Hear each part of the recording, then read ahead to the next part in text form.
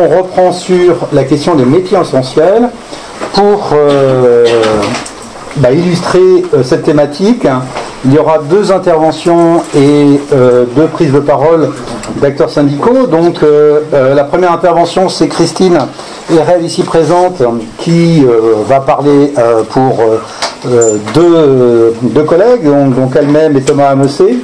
Donc consacré à l'enquête qu'ils ont euh, réalisée sur les métiers essentiels. Hein. Euh, donc il y a eu un certain nombre de publications aussi sur cette thématique, pas simplement dans l'ouvrage, mais euh, autour des publications de l'adresse, etc. Et puis François-Xavier Deveter et Julie Valentin, donc là aussi, François-Xavier va parler pour deux, deux, collègues, donc sur les travailleurs et les travailleuses du nettoyage. Voilà. Et puis nous aurons euh, la position euh, de deux acteurs syndicaux, donc euh, Anne-Michel Chartier de la CGC et Chantal Pichot, Pichot pardon, excusez-moi, de la CGT. Voilà. Je vous propose qu'on commence. Christine, tu démarres? Merci. Donc effectivement, je vais vous présenter ici des éléments qui sont principalement issus de la contribution à l'ouvrage Que c'est-on du travail euh, qui porte sur euh, les métiers essentiels, mais je vais aussi euh, apporter des éléments qui sont issus de travaux qui effectivement sont sur cette même thématique. D'abord, les travaux qui ont été réalisés dans le cadre de la mission portant sur les travailleurs de la deuxième ligne, donc avec effectivement des publications du CET et de la DARES sur ces questions-là et puis euh, des publications, enfin une note euh, plus récente de France Stratégie sur la qualité de l'emploi par métier à laquelle j'ai contribué, euh, qui permet aussi de resituer un petit peu les résultats qu'on a obtenus de manière plus spécifique sur les métiers essentiels. Alors pour entrer dans le, sujet, peut-être un, petit point sur la définition donc, et la, manière dont cette question a émergé dans le débat politique, mais aussi dans les travaux académiques récents. Euh, donc cette question-là, enfin la question des travailleurs essentiels, ça a été effectivement d'abord euh, dans la période récente une catégorie politique, euh, en particulier bien sûr face à la crise sanitaire, avec l'émergence, si on regarde ce qui s'est passé dans d'autres pays que la France et en France également, de plusieurs catégories. Donc il y a une terminologie un petit peu différente selon les pays. Donc il y a la catégorie effectivement essential workers qui a été utilisée notamment dans le monde anglo-saxon.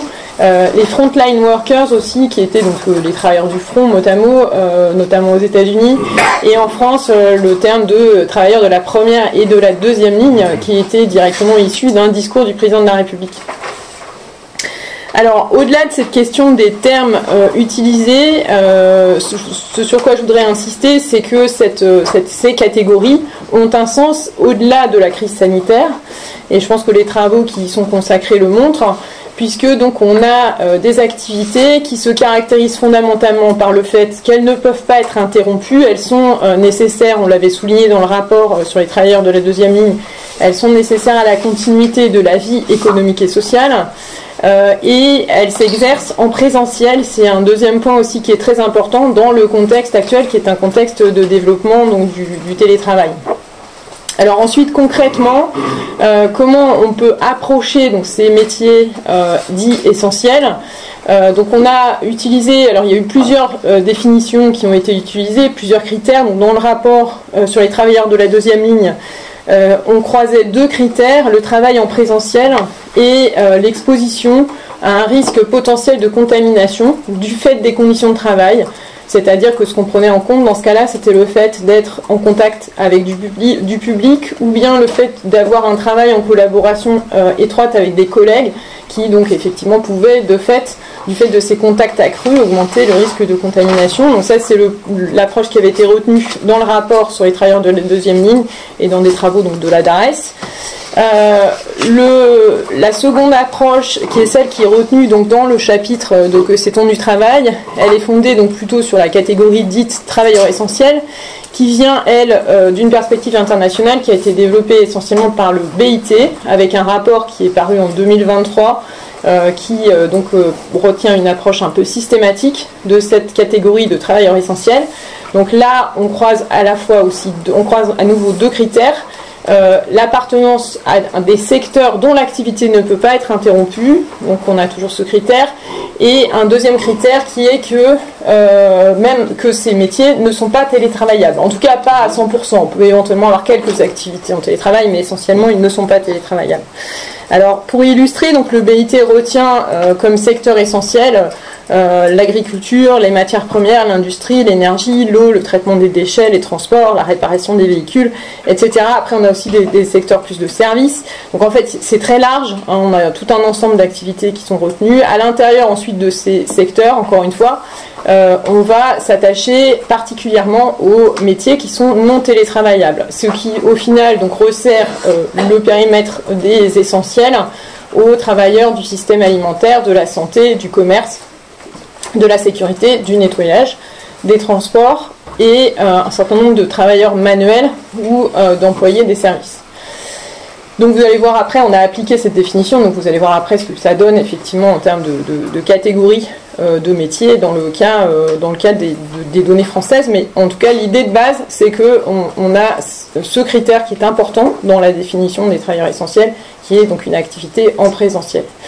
Euh, par ailleurs, donc euh, ces catégories qui ont été établies de manière quand même du coup assez précise à partir d'indicateurs statistiques, etc., peuvent recouper d'autres approches plus qualitatives, on va dire, par exemple celle qui a été développée par Denis Maillard euh, dans son ouvrage sur les invisibles, euh, qui a été aussi reprise euh, par une enquête récente de la Fondation Travailler Autrement qui a sorti, qui vient de sortir en fait du coup des résultats d'une enquête qui insiste là plutôt sur une autre catégorie encore, mais qui est la catégorie dite des invisibles mais qui recoupe en fait largement euh, ces travailleurs essentiels, c'est-à-dire ceux qui sont effectivement bien nécessaires à la continuité de notre vie économique et sociale, mais qu'on ne voit pas.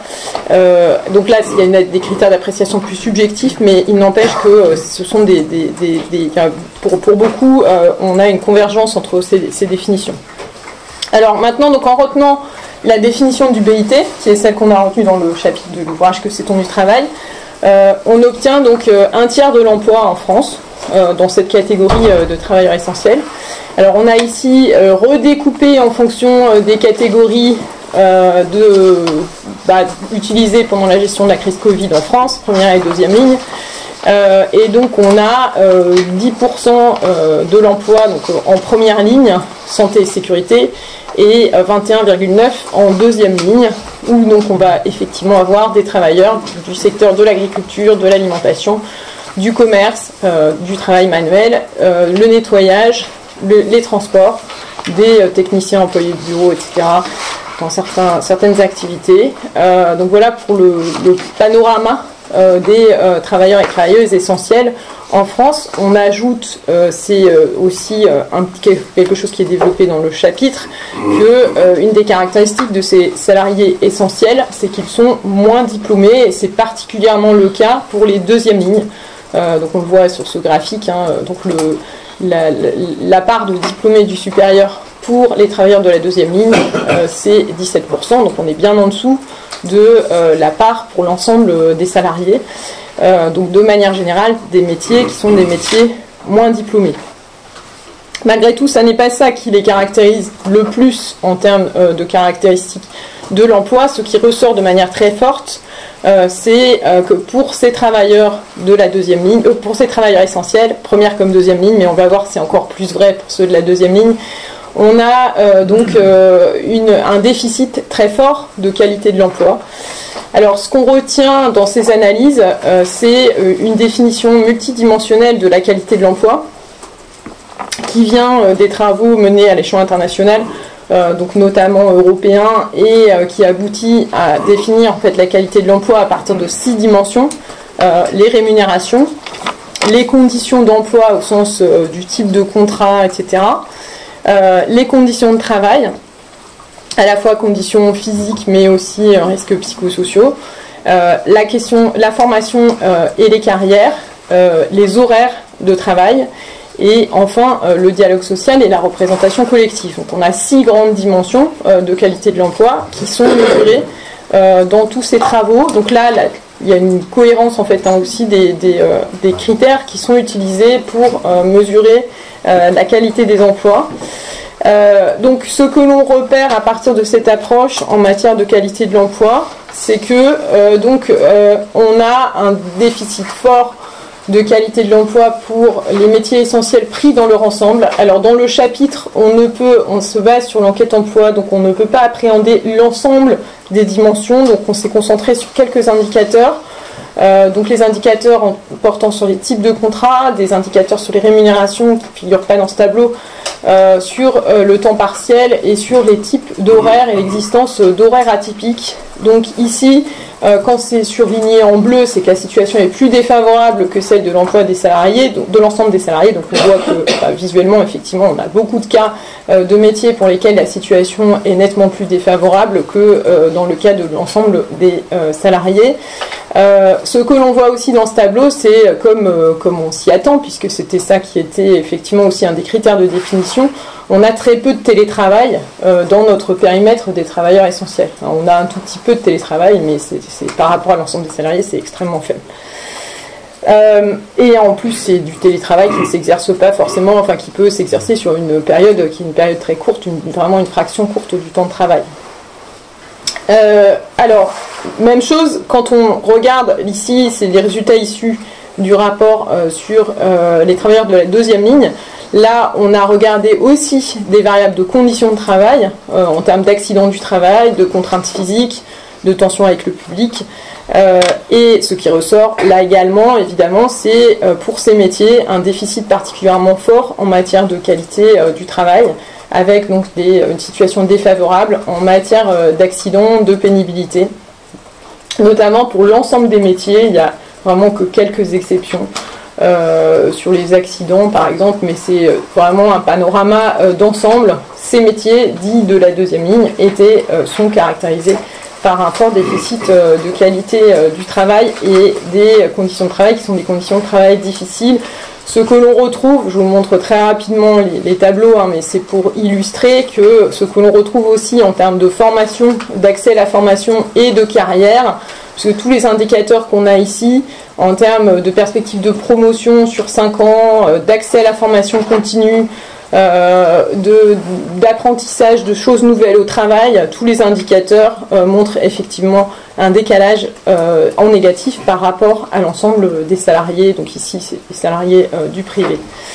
Voilà, donc un fort déficit euh, particulièrement marqué donc pour les métiers euh, dits de la deuxième ligne, c'est-à-dire lorsque donc on exclut santé et sécurité qui sont un petit peu spécifiques euh, du point de vue de leurs conditions de travail et de carrière. L'autre point qu'on a mis en avant dans ces travaux sur ces questions de travailleurs de la deuxième ligne, c'est la difficulté des fins de carrière euh, donc euh, ça c'est dans un travail fait aussi avec euh, Thomas Amossé, donc comme pour le chapitre de l'ouvrage que c'est ton du travail. dans le contexte de la réforme des retraites, on avait fait aussi un petit travail pour situer effectivement les, métiers de la deuxième ligne par rapport à la question des transitions vers la retraite. Et donc on voit que ceux qui ont travaillé ou ont travaillé en seconde ligne se retrouvent donc beaucoup plus souvent dans la catégorie ni en emploi ni en retraite, euh, on a plus de 10 points d'écart avec ceux qui n'ont jamais travaillé euh, en deuxième ligne, enfin ceux qui n'ont pas travaillé pardon, en deuxième ligne. Euh, et on a aussi des situations d'invalidité qui sont deux fois plus fréquentes pour ces salariés donc, ayant travaillé en deuxième ligne. Donc on voit que effectivement ces conditions de travail difficiles ont ensuite des conséquences sur les fins de carrière qui elles-mêmes se retrouvent, se trouvent être particulièrement difficiles. Donc voilà pour le, point euh, sur euh, ces questions de, situation en matière de, qualité de l'emploi. Donc euh, qualité de l'emploi dégradée surtout pour les deuxièmes lignes, transition vers la retraite difficile. Alors si on situe, donc ce que je vous disais, on a fait un travail plus récent avec France Stratégie qui visait à positionner l'ensemble des métiers en France par rapport à ces indicateurs de qualité de l'emploi. Donc c'est les mêmes indicateurs de qualité de l'emploi que pour les approches euh, des métiers de la deuxième ligne. Mais euh, donc on a pris l'ensemble des métiers et donc ce que l'on retrouve effectivement, c'est bien le fait que les métiers de la deuxième ligne sont situés dans le groupe le plus défavorisé, sur six groupes au total. Et on a aussi les métiers de la santé et de la sécurité qui apparaissent à part dans un groupe marqué par de fortes contraintes horaires, c'est ça qui le distingue des autres. donc fortes contraintes horaires liées aux horaires atypiques, liées aux horaires morcelés, etc. etc. Donc tout cela fait effectivement une position spécifique pour ces métiers et appelle bien sûr des enjeux aussi particuliers ensuite en termes euh, de politique euh, publique et euh, d'intervention en matière de négociation collective, etc., si on veut améliorer leur situation. Mais ça, je pense qu'on pourra peut-être en reparler dans les questions. Donc je vais m'arrêter là.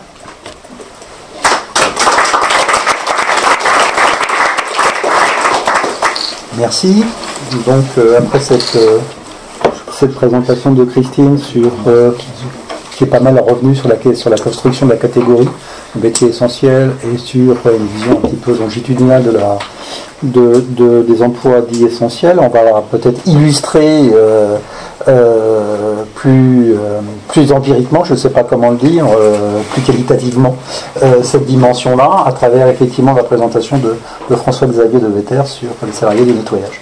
Merci, merci beaucoup. Alors effectivement, euh, moi je vais intervenir. Euh, alors dans le livre, on a plusieurs euh, contributions autour des travailleurs essentiels, avec toute la difficulté hein, de qui est essentiel, qui ne l'est pas, et à quel moment on l'est, etc. Moi, je trouve toujours un vocabulaire qui peut être, qui peut être compliqué. Dans, dans l'ouvrage, il y a euh, notamment, euh, moi j'ai pu contribuer à, une partie sur les travailleurs du nettoyage, essentiellement ce que j'ai présenté là, mais également de euh, focus, entre guillemets, sur les travailleurs du vieillissement et sur la petite enfance d'autre part. Alors sur les travailleurs du, nettoyage, il y a une contribution avec Julie Valentin.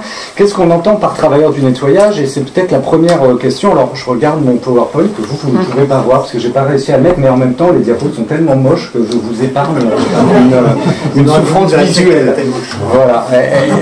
Alors c'est qui les travailleurs du nettoyage? Et on, on part souvent sur l'idée que 2 millions de travailleurs. Alors comment est-ce qu'on arrive à 2 millions de travailleurs alors qu'effectivement la branche de la propreté c'est euh, 300 à 800 000 salariés. Vous voyez, quand je dis ça, déjà j'ai des fourchettes qui sont plus des fourchettes mais des râteaux, donc avec des grandes difficultés de compter, de comptabiliser ces salariés. Et puis ben, nous, on va bien au-delà parce qu'on arrive à 2 millions. 2 millions, c'est qui? C'est 2 millions de travailleurs euh, et travailleuses essentiellement à 80-85%. Euh, qui ont dans leur activité principale ou comme activité principale de nettoyer pour les autres.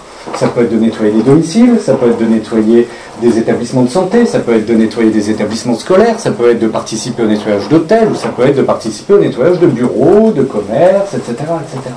Donc on a une vaste euh, quantité, une quantité importante de, salariés qui concourent à cette activité. Sachant que, avec ce que je viens de dire là, derrière cette activité, on a en fait d'autres activités qui se greffent à celui de nettoyer. Je prends un exemple, une aide à domicile est-elle une travailleuse du nettoyage?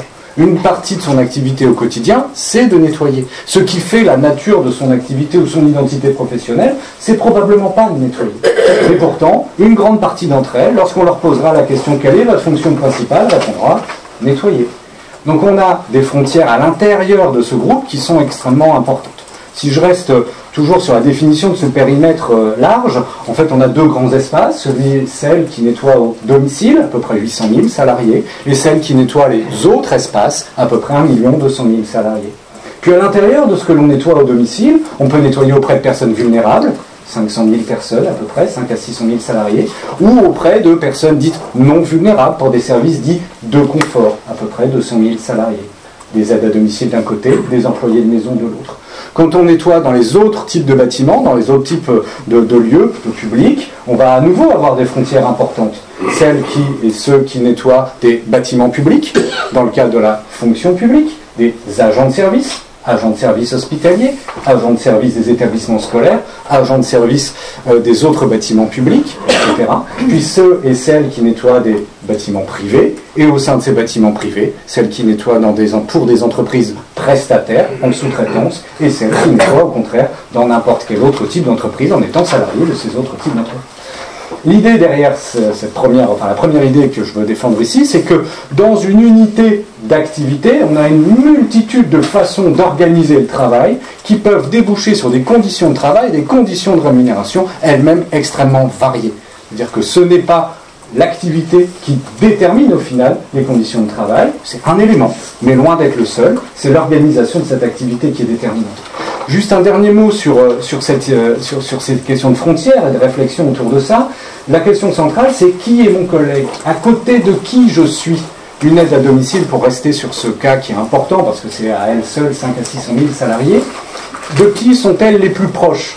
Les employés de maison, comme nous le dit le plan Borloo par exemple, ou nous l'avait dit le plan Borloo, ou les aides-soignantes des EHPAD ou des services infirmiers à domicile, comme pourrait nous le dire la loi de modernisation de l'action sociale ou une loi grand âge euh, qui est prévue pour euh, il y a six ans, enfin bon bref, un jour ou l'autre peut-être, mais pas sûr. Euh, donc voilà, où est-ce que je place les travailleurs et par rapport à quelle identité ils sont les plus proches les uns des autres? Dernier mot toujours sur ce cadre-là, la PCS a, a, été modifiée. On a la PCS 2020 maintenant, 2020, qui a repensé un certain nombre de ces métiers. Deux exemples pour montrer toute la difficulté et les enjeux qu'il peut y avoir derrière. L'exemple des salariés du nettoyage, et notamment de la fonction publique. On avait auparavant des agents de service, et on les distinguait en, trois, en quatre catégories en fonction du lieu où elles intervenaient. École primaire et maternelle, 525A, pour l'école, ça c'est mon toc à moi. Euh, autre établissement scolaire, 525B. Autre bâtiment public, 525C établissement hospitalier de soins et médico-sociaux, 525D. Hop, on a enlevé ça, on a pensé différemment, on dira ah non, c'est la nature du travail qui est déterminant, on va les découper en deux, on va laisser l'hospitalier de côté parce qu'on n'arrivera pas à faire autrement, c'est ok, donc ça va laisser, mais les autres, on va les redécouper non pas en fonction du lieu, mais en fonction de ce qu'elles font réellement. Parce que quand on fait quelque chose, c'est ça qui détermine le travail. Et donc il y a celles qui nettoient, 52B1. Et puis il y a celles qui s'occupe de la restauration et euh, de la surveillance, 52B2. Sauf que quand vous demandez à un agent de service d'un établissement scolaire, à peu près 100 000 dans les collèges et lycées, qu'est-ce que vous faites au cours de votre journée Là, De 7h à 11h, je participe au nettoyage des classes et des espaces communs. De 11h à 14h, je participe à la restauration et à la plonge. De 14h à 16h, je reparticipe au nettoyage ou éventuellement à l'accueil. Je ne sais pas comment l'enquête emploi fait pour coder ces personnes-là, en fait. Par définition, ils font les deux au cours de leur journée. Sauf que forcément, ils seront obligés, en quelque sorte, de se placer soit dans l'un, soit dans l'autre.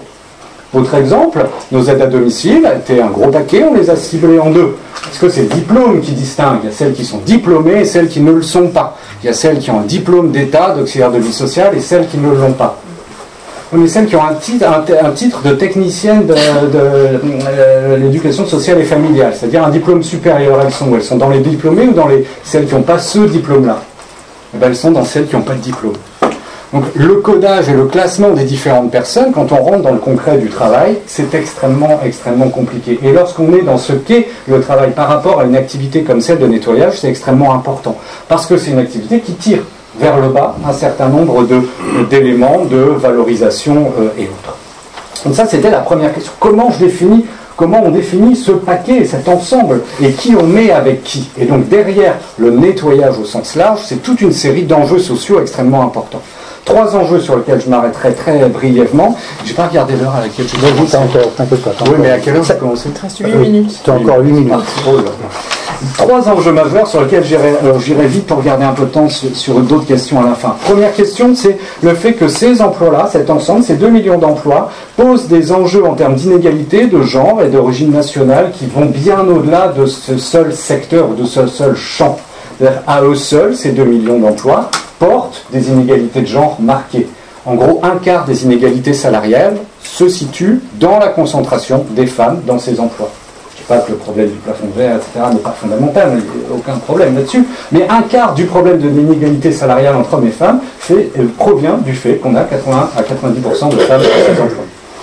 Même chose sur l'origine nationale, 70% des femmes d'origine africaine nées en Afrique subsaharienne sont affectées à des emplois de nettoyage. C'est la concentration d'une segmentation, d'une ségrégation à la fois en termes d'origine et en termes de genre qui se, qui se place ici. Deuxième enjeu majeur en quelque sorte qui se retrouve, qui s'explique au niveau global, mais particulièrement par ces emplois-là, c'est les métiers à bas salaire. Une grosse proportion, quasiment un quart des métiers à bas salaire se retrouvent dans ces seuls emplois-là. Une concentration de la pauvreté laborieuse et une grosse partie de la polarisation, c'est-à-dire la croissance concomitante en quelque sorte des emplois les plus qualifiés et les moins qualifiés ou considérés comme tels, s'explique par la croissance d'un certain nombre de ces emplois. Encore une fois, euh, euh, une grosse partie de l'emploi dit non qualifié, c'est la croissance des agents d'entretien, des aides à, domicile, qui l'explique très très très largement.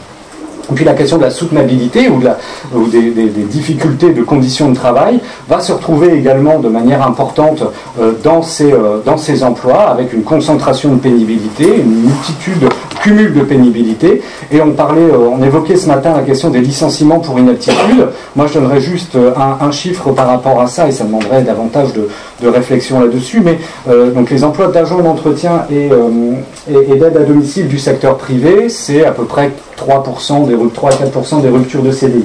C'est un sixième des licenciements pour une aptitude. Un licenciement pour une aptitude sur 6, c'est un agent d'entretien ou une aide à domicile. C'est des, enjeux qui sont euh, particulièrement importants. C'est une façon de rejeter aussi euh, les formes de pénibilité ou de partage de, pénibilité euh, que l'on peut avoir au sein de, de ces emplois. J'y reviendrai éventuellement tout à l'heure. C'est également une difficulté dans les trajectoires, c'est-à-dire dans le vieillissement des personnes. Encore une fois, on a pu regarder euh, sur les, questions de vieillissement sans incapacité.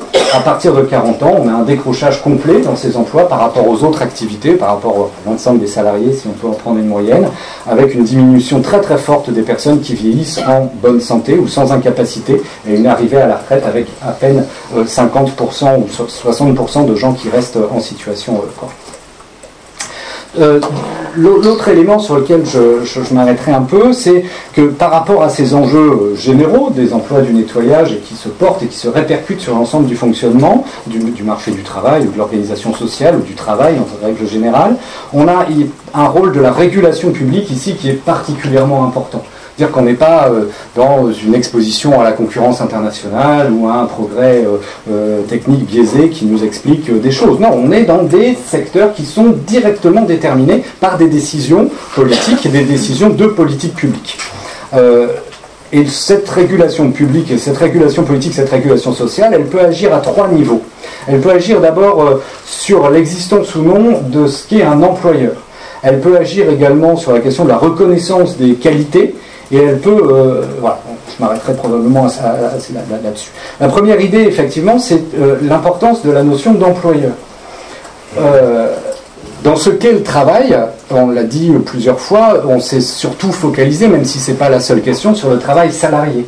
Qui dit un travail salarié dit un lien de subordination et dit l'existence d'un employeur. Sauf que là, bien souvent, on est sur du travail sans emploi ou du travail sans employeur parce qu'on va retrouver des modèles organisationnels, particuliers employeurs dans l'aide à domicile ou des services à la personne, entreprises de sous-traitance dans euh, le, nettoyage, qui font en sorte, en quelque sorte, que l'employeur s'efface, disparaisse, ou en tout cas s'exonère d'une grande partie de ses, euh, responsabilités, de ses, euh, de ses obligations cette hiérarchie des différents types d'employeurs ont un impact important sur le salaire horaire. On sait bien qu'au sein de cet ensemble, certains types d'employeurs vont offrir des salaires horaires meilleurs que d'autres, mais ça va bien au-delà. Ça va sur le suivi de la prévention, sur l'existence même euh, d'une prévention. Hein. Pour rappel, le, particulier employeur n'est astreint quasiment à, rien ou presque. Euh, c'est sur la diversité des tâches, sur la représentation collective, etc avec à chaque fois des types d'employeurs bien particuliers, particulièrement low cost, pour reprendre euh, une expression euh, de Bruno, à savoir les entreprises sous-traitantes d'une part ou le particulier employeur euh, d'autre part. Euh, cette façon de s'exonérer de ses responsabilités, c'est aussi le propre des logiques des, marchés publics ou des marchés. Et à ce niveau-là, la fonction publique ou les établissements publics, dans leur grande diversité, ne sont pas sans, sans, responsabilité. Euh, j'avais un exemple, mais je le garderai euh, pour, pour plus tard. merci ces logiques d'organisation et de type d'employeur jouent aussi de manière importante sur la façon dont on fait apparaître les qualités des travailleurs et des travailleuses en question. Derrière ces qualités, c'est à la fois les compétences qui sont mobilisées, mais c'est aussi les pénibilités qui sont supportées, c'est enfin la charge de travail réelle qui n'est de fait jamais discutée. Juste un point ici, puisqu'il doit y avoir quelques, s'il y a un syndicaliste dans la salle. Euh, rappelez-vous que les commissions santé sécurité au travail, CFSCT auparavant, sont responsables de l'ensemble des salariés qui font plus de 400 heures sur le site. Et donc, la plupart du temps, des salariés, des sous-traitants présents sur le site, notamment en termes de, nettoyage. Et pourtant, ils sont quasi systématiquement oubliés, et même lorsqu'on interroge les CHS, enfin les ex-CHSCT ou CSSCT sur ces questions, on nous dit souvent Ah ben non, ça ne me concerne pas, c'est pas ma branche, c'est pas mon secteur. si, ils travaillent sur le site et ils sont pris en compte dans cette, dans cette question-là. Euh, deux points trois points pour terminer. Euh, le premier, c'est de rappeler que nettoyer, c'est toujours lié à une finalité plus large. J'ai commencé par là, euh, sur notamment la question des aides à domicile, mais ça va bien au-delà. Nettoyer, on nettoie toujours un bâtiment pour les occupants de ce bâtiment, et donc sur une plus grande diversité de tâches derrière et, de, et d'inclusion dans une communauté. La question de la communauté éducative, de l'équipe de soins, de la communauté de travail est ici particulièrement importante le, dernier point, et promis, je m'arrête là, c'est euh, un mot euh, d'espoir quand même sur euh, le rôle de l'action syndicale. Là, c'était la seule image que j'aurais bien aimé réellement vous montrer. Alors, je ne parle pas du sens de la causalité, mais en tout cas, la corrélation, elle est très nette. Si on décompose les différents segments du nettoyage et qu'on les met en lien avec le taux de pénétration syndicale ou le taux de présence syndicale, plus il y a de syndicats, moins ça va mal, ou mieux ça va, si vous préférez. Donc c'est quand même un bout d'espoir euh, là-dessus, et la corrélation est très très nette, même si on n'a que 10 points. voilà, il n'y a, pas de la scientificité super forte là derrière, mais quand même il y a ça. Et puis, euh, euh, pour le, mot de conclusion, c'est de pointer deux questions syndicales qui sont assez immédiates et qui concernent directement ces salariés, ces travailleurs, ces travailleuses, et qui sont peu discutées, même si elles le sont dans certains espaces. Au niveau syndical, qu'est-ce qu'on fait des salariés euh, des entreprises prestataires, des entreprises sous-traitantes? Est-ce qu'elles sont organisées via les sites ou via les fédérations, des fédérations propres, la fédération de, du secteur concerné? On sait que très souvent, c'est lorsque le site se mobilise et lorsque la section syndicale du site se mobilise que des choses s'améliorent. Le fait de les laisser uniquement les deux peuvent être cumulatifs, les laisser uniquement dans une fédération spécifique crée au contraire un certain nombre de problèmes. Et l'autre exemple, euh, c'est celui de la discussion sur et de la façon dont les syndicats peuvent s'emparer de la réalité du travail concret.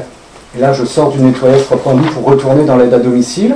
On a un modèle organisationnel qui se développe, qui est très soutenu, notamment par la CNSA, la Caisse nationale de solidarité et d'autonomie, qui pousse ce qu'on appelle des équipes autonomes. Ça fait le lien avec un certain nombre de choses qui ont été présentées également ce matin.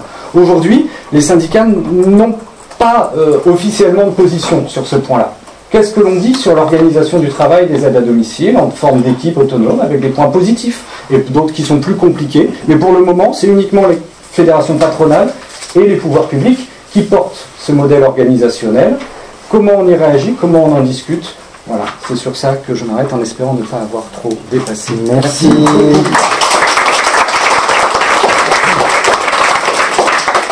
Donc, euh, je, souhaite revenir sur le titre de la session, donc au cœur des métiers essentiels. Donc, euh, nous avons euh, deux interlocutrices syndicales là pour aborder effectivement cette thématique.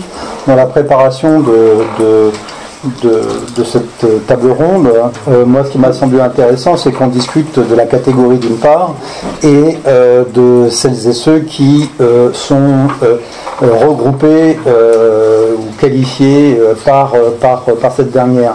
Revenir sur la catégorie d'une part, c'est-à-dire peut-être interroger sa pertinence ou plutôt sa permanence, alors qu'il s'agit d'une catégorie qui n'est pas nécessairement né, mais en tout cas qui euh, s'est beaucoup diffusé à partir euh, de l'épisode du Covid, et euh, celui-ci étant derrière nous, en tout cas je, l'espère. quid aujourd'hui hein, de cette catégorie Est-ce qu'on l'utilise encore? Est-ce qu'on peut effectivement considérer que les métiers qu'elle qualifie sont toujours essentiels? Euh, et bien évidemment, derrière la catégorie elle-même, c'est euh, les conditions d'emploi et de travail de celles et ceux qui euh, sont considérés ainsi, c'est-à-dire depuis effectivement la diffusion, l'émergence et la diffusion de ces catégories, y a-t-il eu des améliorations Y a-t-il eu une prise de conscience de la condition d'emploi et de travail de ces salariés euh, le plus souvent EES, hein, comme, comme ça vient d'être dit. Donc c'est un petit peu là-dessus que je qu'on a voilà qu'on a construit un petit peu notre euh, table ronde.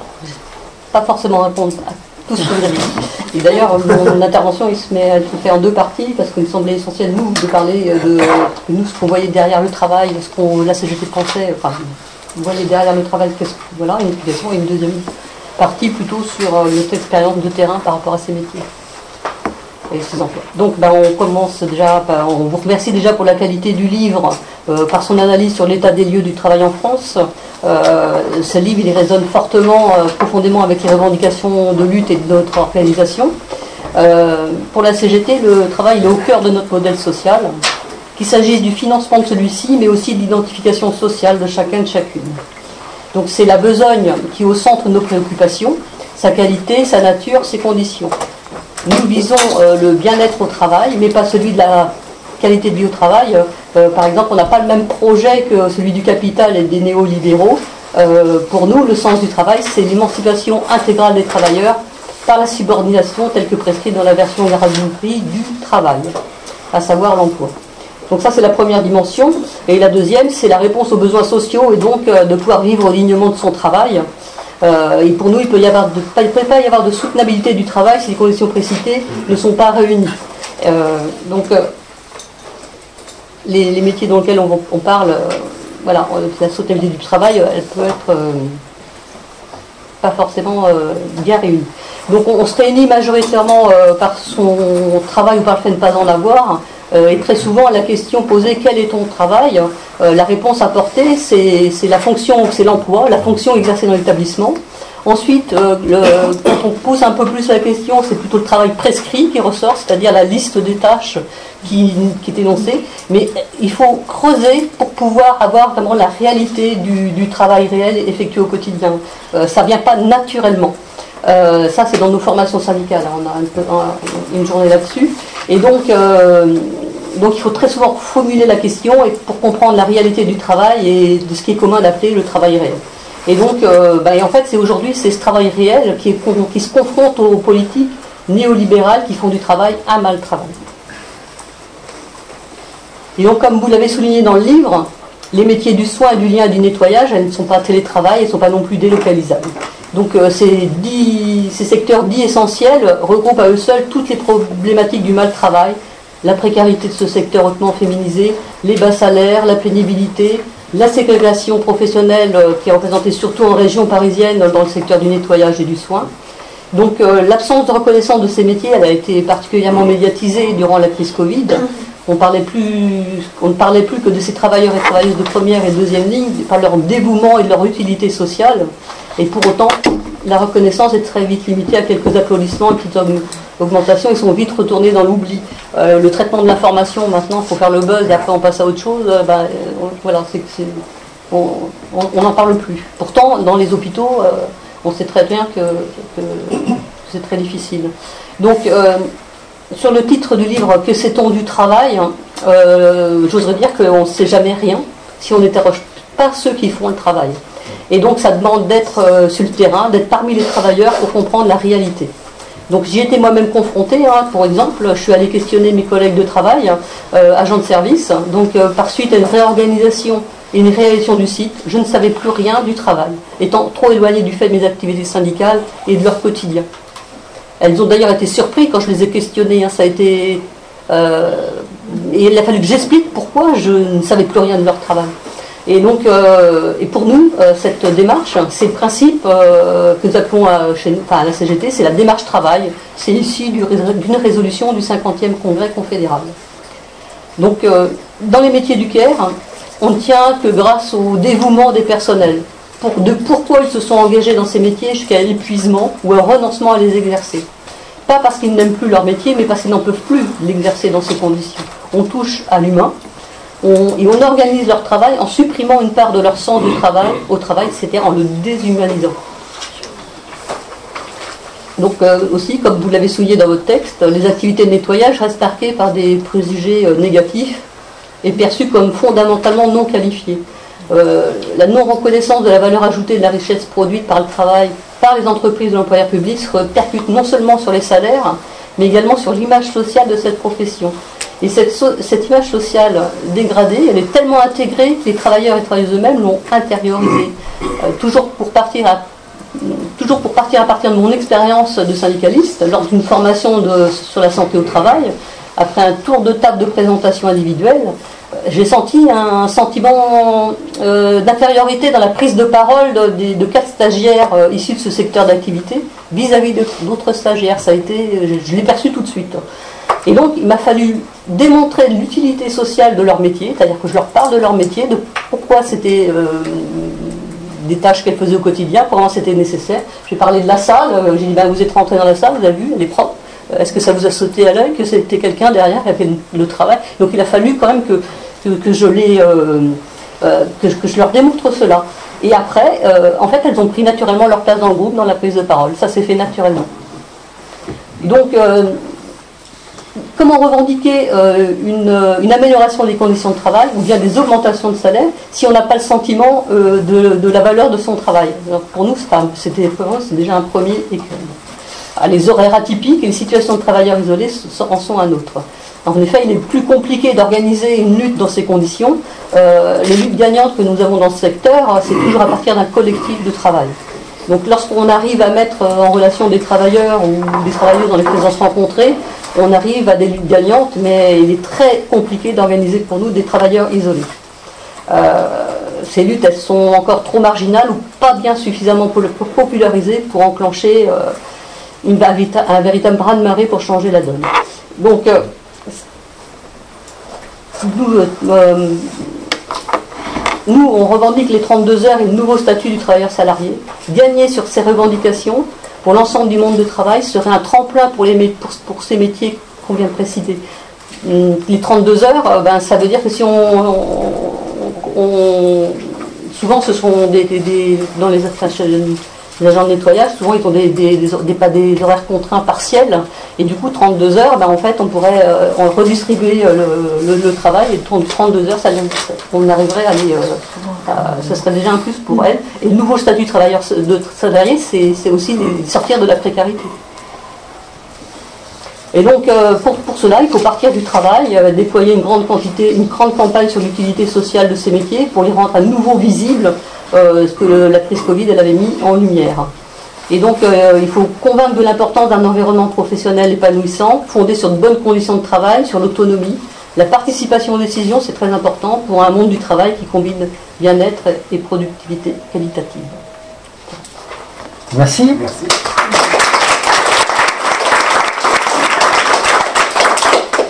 Donc la parole à Anne-Michel Chartier. Oui, bonjour à tous. Merci pour cette invitation pour parler du travail. Donc, euh, j'interviens en qualité de CFE-CGC, CFE-CGC qui n'est pas directement en contact avec ces métiers du CAR. Néanmoins, je suis médecin du travail, donc j'ai eu des contacts avec tous ces métiers. Et en tant que CFE-CGC, nous avons euh, porté le fait que la QVT devienne de la QVCT et que on parle des conditions de travail et que la seule façon d'améliorer le travail, c'est de parler des conditions de travail, des conditions réelles de travail. Donc je vais rebondir sur cette qualité de l'emploi que vous avez évoquée et sur ces métiers du CARE qui sont euh, les EHPAD, vous avez cité euh, les assistantes euh, pour le nettoyage à domicile et je compléterai par les caissières parce que ça a été aussi des populations qui ont été en, deuxième ligne pendant la crise sanitaire. Alors pendant la crise sanitaire, bon, j'étais en poste pendant la crise sanitaire, et euh, il y a eu une véritable fierté pour ces populations qui étaient en première ligne, enfin en deuxième ligne plutôt, moi je dis en première ligne parce que je voyais surtout ces populations, euh, qui ont eu une véritable fierté d'être là et de, donner toute leur visibilité à leur utilité. Donc cette crise a au moins montré euh, cette utilité. Cela dit, auparavant, l'utilité était quand même quelque chose, le sens du travail et les métiers que vous avez cités dans les EHPAD, dans euh, l'aide à la personne, c'est des métiers qui ont un sens du travail et les gens qui le font nouent des liens qui sont très forts entre les résidents et vous n'avez pas bien cité ça, entre les résidents, entre la personne, quand euh, le ménage va être fait chez la personne vulnérable, et eh ben la personne vulnérable, ça va peut-être être la deuxième personne à qui elle va parler dans la journée parce qu'il va y avoir l'infirmière, et peut-être la personne qui lui porte les repas, mais c'est tout. Donc, euh, ces personnes qui font ces métiers, savent qu'elles sont indispensables pour celles-là et elles ont une reconnaissance de ces personnes. Dans les EHPAD, pareil, il y a une vraie reconnaissance, une vraie liaison entre cette salariée qui va s'occuper de l'intimité de la personne et la personne qui va euh, ben, est complètement euh, sous la dépendance parce qu'elle va être lavée, elle va être, on va la nourrir, euh, qui va être sous la dépendance. Donc il y a des choses qui se lient et c'est un centre d'intérêt très fort pour ces personnes. En revanche, quelles sont les caractéristiques des métiers que vous avez cités? C'est qu'il y a un environnement financier qui est très contraint. L'environnement financier euh, des, hôpitaux n'est plus à. Je ne vais pas vous l'expliquer. C'est euh, avec des, enveloppes budgétaires. Dans les EHPAD, eh ben, on a le problème des EHPAD qui sont euh, en bourse. Et le côté financier, est-ce que c'est éthique d'avoir des EHPAD en bourse? Est-ce que de, de, dégager des bénéfices par rapport à des personnes vulnérables, est-ce que c'est éthique? Bon, on a les cliniques aussi qui deviennent euh, aussi euh, cotées en bourse, Clinéa, tout ça. Donc, les aides à domicile pour des personnes vulnérables, l'enveloppe, elle est contrainte par le département qui donne de l'argent pour que ces gens euh, puissent bénéficier d'une aide. On a la même chose dans les métiers de l'aide à l'enfance, qui sont aussi des enveloppes budgétaires données par le département et qui sont des enveloppes très contraintes. Dans les, les caissières, ben, vous savez qu'actuellement, euh, Casino, Monoprix, tout ça va pas très bien.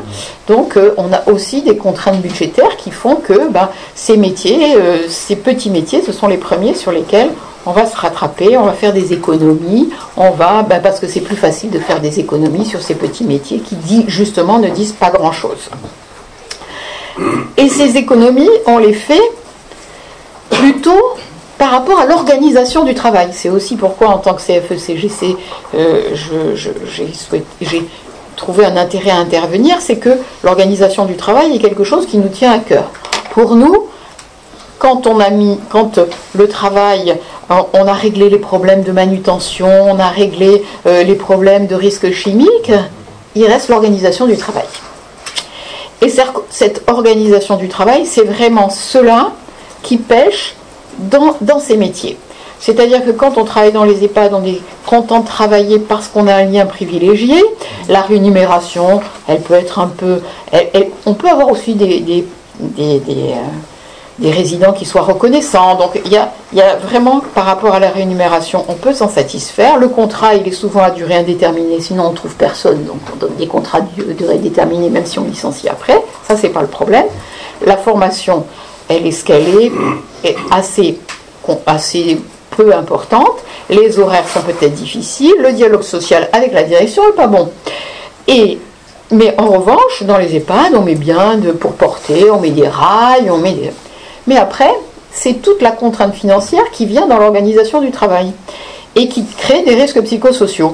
C'est-à-dire que quand on donne une couche par jour et qu'on dit vous n'en aurez pas deux, c'est un problème parce que les personnes qui vont s'occuper des, résidents vont souffrir de dire ben moi je peux pas, il faut que j'aille chercher, que je le dise pas, que je fasse ma petite réserve, parce que sinon j'aurai pas de couche. On leur dit il faut donner deux biscottes, pas trois, deux biscottes le matin. Alors deux biscottes, euh, bon, c'est pareil. On essaie de, on sait que ces personnes n'ont pas grand chose dans la vie, que c'est leur fin de vie. Euh, on a envie de donner, on a envie d'être proche d'eux, et on leur dit ah non non, deux biscottes et une couche, hein, ça suffit. Et puis le matin, euh, c'est des personnes qui sont vulnérables, qui vont avoir peur de tomber, tout ça.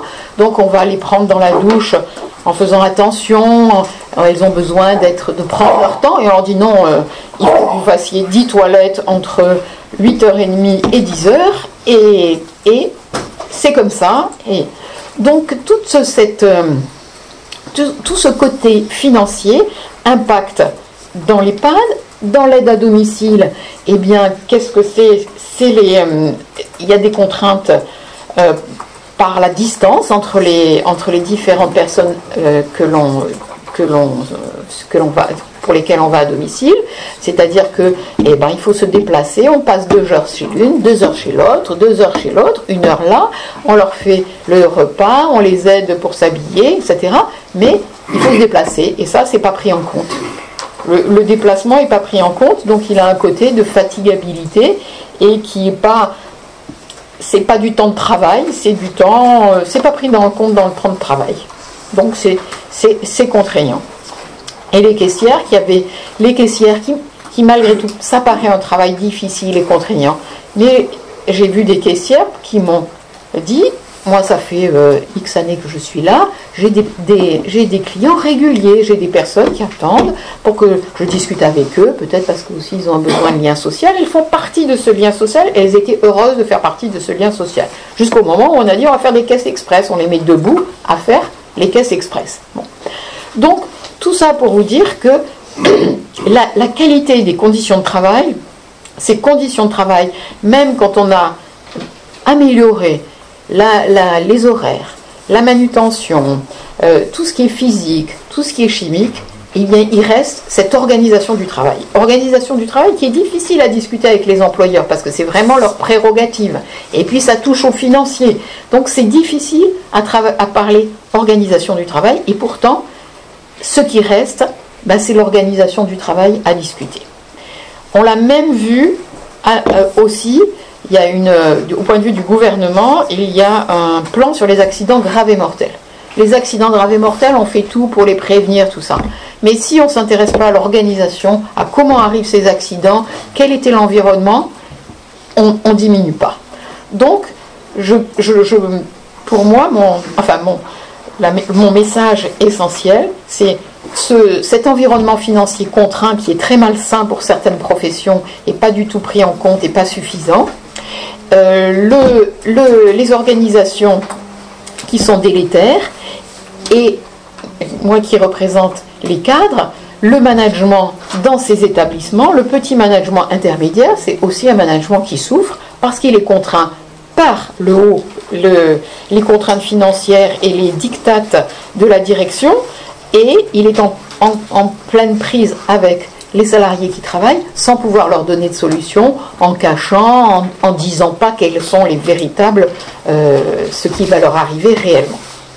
Voilà, donc tout ça pour dire que euh, le lien entre la santé et le travail de ces organisations, de la connaissance du travail, il passe aussi par les services de santé au travail, que les services de santé au travail sont très malmenés et que euh, on fait tout pour que les médecins ne soient plus euh, des médecins du travail ne, plus, et ne puissent plus faire le lien entre santé et travail, et que si on n'a plus la capacité de faire le lien entre santé et travail, ben c'est toute cette prévention, tout ce, ce travail qui va en pâtir.